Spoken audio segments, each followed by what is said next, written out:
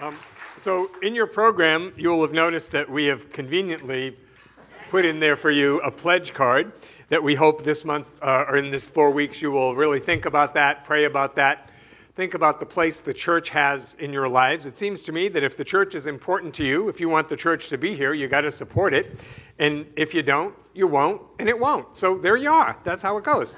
Um, I'm working for our Journey of the Heart uh, program this year. I'm working with a book by Edwene Gaines. She is one of the prosperity divas of New Thought, and her little book is called The Four Spiritual Laws of Prosperity. It looks very non threatening, doesn't it? You know? And such a nice Edwene Gaines. She sounds like, oh, she should be the lady next door. This woman has kicked my butt repeatedly over the years uh, by pushing me to grow again and again and again. Um, and so the chapter I'm going to talk about today in her book is all around goal setting. And this is why goal setting is important. It develops our faith in a directed way. That, now, it works only if you do it, which is just like tithing. Tithing only works if you do it. So, what we're encouraging people to do, and I believe this is really the Science of Mind way, I have done this since I came into the Science of Mind teaching, low many years ago uh, is that we set, set concrete and practical goals. And what that does is that creates a vessel in your consciousness for you to be able to hold the greater good that, that God, that the universe is trying to bring to you. People often don't want to set goals. I know, I hear that all the time. You know, every January I do, we do a goal sheet here for people to fill out. I usually do a little workshop on goals one Saturday morning. I love it. I get so much out of it because I'm really, I'm doing it for me. And, and if anybody else wants to come along, absolutely fine, you're welcome. But I notice that when I do this, every year my life gets bigger and my life grows and it includes more wonderful things. So I'm encouraging people to, you know, don't wait till the first of the year. Start, start right now that when you have some time alone, think about what do I really want? What do I want to create in my life? What do I want to bring into my life? What do I want to reveal in my life? But do it, take some time when you're alone. Um, because this is important because you want to establish what is it that I really want, not what other people tell me I should want, or not what maybe my parents or teachers or anybody else in my life tells me I should be working on what do I really deep down within myself want for my life? See, I think this is, I think this is really fun. And it's a creative part of, of, of, uh, of the prosperity process. Uh, this is all to help you and I experience our divine nature in a greater way. See, here's the thing God, the infinite, has no judgment on any goal you might set, as long as, and especially, that it does not harm anyone else or infringe on anyone else's free will. So God has no judgment. If you need a refrigerator, God says, fantastic, you need a refrigerator. Let's set about creating a refrigerator. Or if you're looking for your perfect partner in life now, God says, fantastic, let's bring you together with that person. Now, because this is the science of mind, I have to tell you that part of the process is what we become in the process of our goals being fulfilled. The consciousness that we become, the kind of person we become, the way we get expanded is really, really an important piece about this. Um, maybe, maybe everything is already pretty good for you, in which case I say, wow, awesome, good for you. But in which case, if everything is already great in your life, you will need to increase what Edwene refers to as your blessing tolerance. Yes. Like, how good are you willing for life to get? You know, how good are you willing for things to be? Like, I feel like every year when I do this, my life gets better and better and better every year. I think, how is that possible? How is that possible? I have a very high bliss tolerance, is why it is. You know? so I think we have to get ready. Um, and part of how we prepare is to, um, to accept to really be willing to accept what it is we say we want in our life. If you want a greater good, you have to do something, right? Ernest talks about treating and moving your feet, right? So the good is not just going to fall out of the sky into our laps. Um, you can't sit there like a bump on a pickle, as the saying goes. So, setting goals, you know, you've got to move beyond your perceived limitations. This is a wonderful place to, to sort of loosen up on how tightly we know things to be. You know? Uh, that we want to step into really the process is about stepping into who we really are as expressions of spirit, as sons and daughters of the Most High, as children of God. You know, uh, Goethe said, whatever you do or dream you can, begin it, because boldness has genius, power, and magic in it. I've heard that for years, and I love it. It's, it's just another way of saying, just do it. Just start. Just start where you are. I think that in the process, what we will find is our limiting beliefs will come up, our resistances, and that's a good thing because once they're brought to the light, we can actually do some work to heal them and release them because we want to cast off any sense of limitation. You know, if you really love your sense of limitation, I would say cast it off just for the next few weeks. You can pick it up again later if you really miss it. You know, I don't think you will. I don't think you will. When have we ever said, I'm just not limited enough? Never. Nobody has ever said that. You know, what, what would my life be like? This is what I think we have to ask. What would my life be like without my perceived restrictions? What would my life be like without the limitations I think I currently experience? Now, the important thing about this is to not get caught up in how is this going to happen for me at this point in my life, at this time, in my situation, at my age, all that kind of stuff. We can learn something from children here. Children tend to dream big, especially around the holidays, right? And uh, my mother would say, You kids want me to death. You just want, want, want. And I'd say, Well, Santa Claus, come on. You know, Santa Claus is an infinite yes. Well, in a sense, the universe is also an infinite yes. You know, that, that we have to be specific.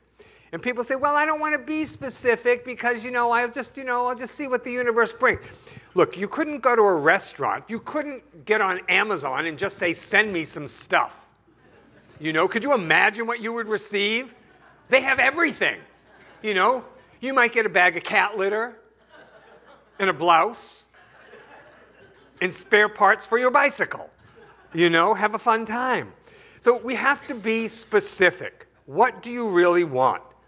Now, I know for many of us, what we really want has been on a back burner for a long time, and I want to encourage us to pull it forward to a forward burner. If you don't know what you want, how can God, how can the universe support you? How can the universe respond if you don't know what you want? So I'm going to ask us to be really big and take responsibility and make a choice. To absolutely make a choice. So here, we can even do this specifically. Do you have goals around your health? You should. If you don't, you're missing out. We should all have goals around our health. We should have goals around loving relationships. We should have goals around money. We should have goals about our leisure time. We should have goals around our spiritual growth. In all of those areas, you want to be specific. Right? If you don't know what you want, no wonder we don't have the success we could in moving forward in our life. Now, I got to tell you, I love Edwene Gaines. I've, I've met her a couple of times. She's been to different churches that I worked at years ago.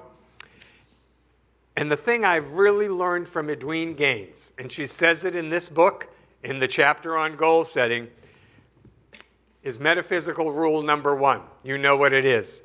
Don't complain. There, I said it in a very nice way this morning, didn't I? I think that was remarkable. that metaphysical rule number one is don't complain. Why? Because complaining is a problem prayer. You're praying the problem when you complain. You know, you're putting all this energy and emotion and feeling into it, and you're telling the universe in a big way what you don't like about the universe. But you're doing it with all this feeling. And probably, if you're like most people, when you complain, you do it again and again and again and again to anybody who listens, Anybody that's slow enough to hear what you have to say, you know, I mean, they haven't run off. You will complain again and again and again. So Edwene encourages us, and I'm going to ask us to think about doing that. I'm not going to ask, I'm going to say, let's do this. Let's do this all together to take a 21 day challenge and see what happens in our life around this. Because if you thought Journey of the Heart was just about money, it's not. It's about transforming your whole life from the inside out. And for 21 days, The challenge is to not complain, to not criticize, to not gossip, to not use negative language. Oh my God, what will I say? what am I going to be saying? It's going to be quiet at my house. I don't know.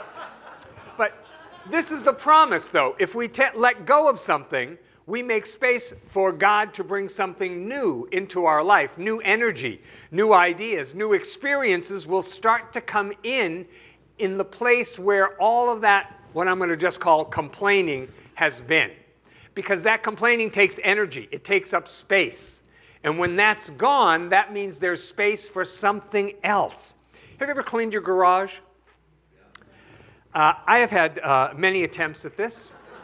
and what I notice in this cleaning of the garage is as soon as some stuff goes, new stuff appears in the night.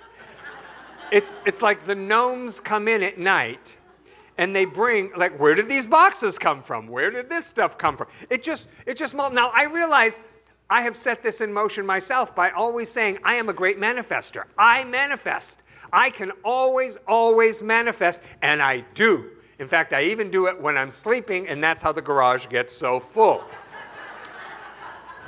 So part of this also is about being willing to give up what we don't want in order to have what we do want. Remember, God has no judgment on any goal you set as long as it does not hurt anyone or go against anyone else's free will. You know, so so I'm sorry, ladies, you cannot say I want Brad Pitt to be, you know, my next uh, love interest. Um, if he's already got somebody, that's just karmically incorrect. Okay, uh, and I'm sure he'd be flattered, but you have to say, okay, well, if if that's the goal, um, you can tell the universe, I want somebody like that who is available. Okay, do do you understand? So these are the two things that I've really learned over the years about goals that I have found are, are just incredible. One is you got to write them down. Writing down your goals makes it 50% more likely to happen. That's a lot of bang for your buck. You know, that's not a lot of effort. How many of you have been in business and you had to write down goals? Yes, absolutely. If you haven't done that, it's a wonderful, wonderful thing to do. So, writing it down makes it 50% more likely. The other statistic that I really like around goals is um, it's got to be 50% believable to you. You know, so if you're making $24,000 a year right now, is it really believable that next year you will make a million? Mm, maybe not. Maybe you should just start from 24, go for 100,000. You know, it's got to be at least 50% believable to you. If any part of you is like going, yeah, that ain't going to happen, then it's too big right now. That doesn't mean over time your consciousness will not grow because of course your consciousness will. And the wonderful thing that I've seen again and again about setting goals is when you achieve a goal, you go, oh my God, if that's possible, what else is possible for me? If that was available to me, what else is available to me? I've got to keep doing this. Now, Edwene encourages us, and I thought this was interesting. This was an interesting spin. I had never come across this before. I've always read my goals every day, but Edwene says you want to read your goals three times through every morning and three times through every night. Because what that does is that really, really impresses your subconscious mind. It's another way, it's another way in of impressing the subconscious mind, and the subconscious mind sets about fulfilling those goals. So Charles Fillmore, who was the founder of Unity, said, Desire is the onward impulse of the ever evolving soul. So because you have a desire to express, to experience in a greater way, Fillmore is saying, This is your soul. This is your soul's activity seeking to be bigger in the universe. So, what do you got to do? You got to get a little notebook or a big notebook, I don't really care, and list your goals in order of importance to you. Again, not other people.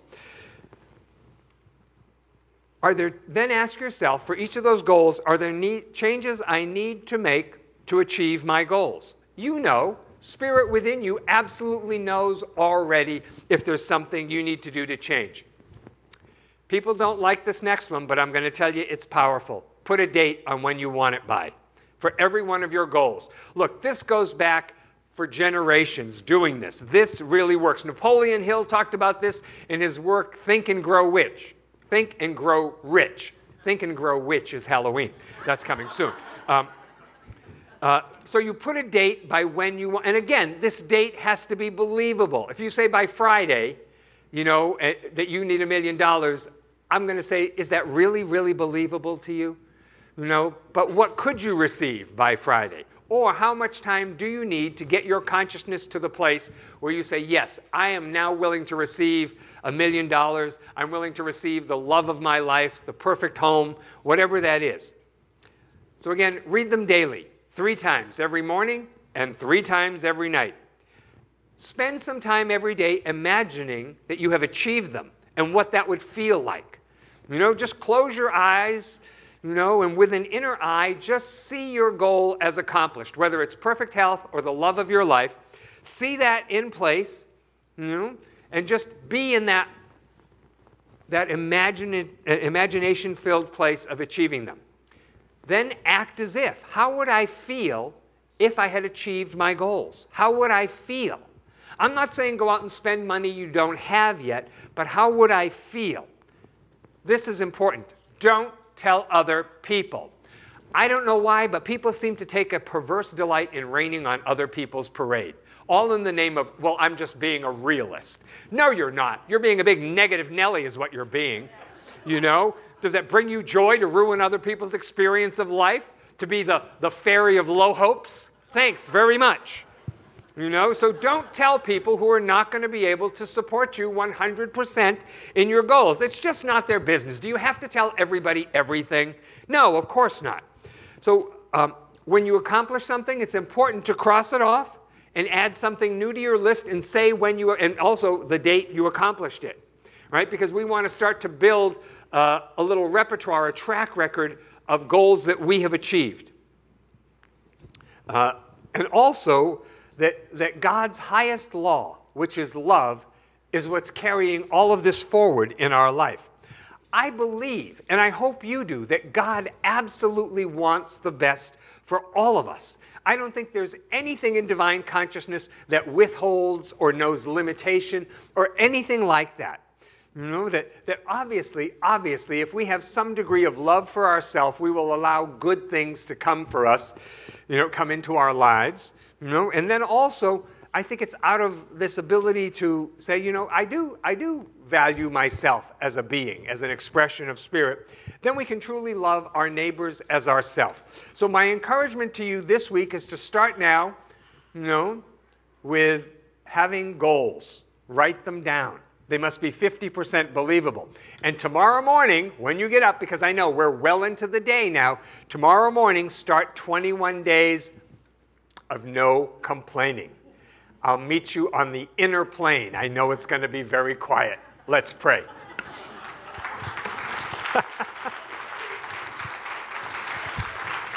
so we turn our attention inward now for a moment, recognizing that we are surrounded, we are filled with God's light, God's love, God's very healing presence. I know that the Spirit of God within each and every one of us is the truth about us that we are made in the image and likeness of God. And so, in this awareness of our oneness with God and knowing that we are all connected with each other, I speak the word for us that we are a prosperous consciousness right now, today. Whatever it looks like in the world of form, I know on the inside, because we are made in the image and likeness of God, that we are prosperous, prosperous people. That every good and perfect thing that would add to our life is ours right now. We say yes to it, we welcome it, we receive it. And I further claim for each and every one of us that we are on track for these next 21 days with no complaints. No complaints about anything, just to be part of the divine experiment and see what newness Spirit brings into our life. I claim for each and every one of us that it's easy and joyful for us to set goals. Not only set them, but achieve them and move on to even greater things because I believe it truly is the Father's good pleasure to give us the kingdom, and that kingdom includes anything and everything that would add to our life in a healthy, happy, loving, abundant way. So we include in our prayer today our family members and friends, our parents and children, all of those that we love and hold near and dear. And we remind ourselves as we speak this word that God is right where they are, that their needs are met, that they are surrounded and filled with God's love, that God's light shines upon them. We bless our church and all churches everywhere synagogues, temples, mosques, ashrams, all paths to God. And we let our prayer be an energy of blessing that emanates out from us to all people everywhere. In particular, today, we think of people all over who've been affected by fires, and we remind ourselves that God is present even in the midst of that. In rescue workers and fire department people and anyone doing anything to help, we know God is present there. And in all of the people affected, we remind ourselves that God is right there as well. We let our prayer enfold the entire globe that we live on, touching all people, lifting all people, healing all people.